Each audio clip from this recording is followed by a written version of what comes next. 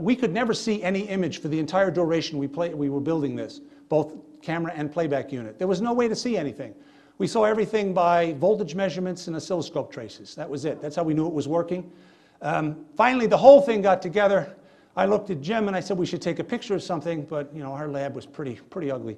So I walked down the hallway. I found a young lab technician. She was sitting at a teletype. Her name was Joy Marshall, and I asked her if I could take a head and shoulders shot of her which she agreed because she knew we were the weird guys at the end of the hall. and um, she was comfortable with us there. And uh, so I did. I took the shot, and uh, you could tell the camera was working because the tape started to turn.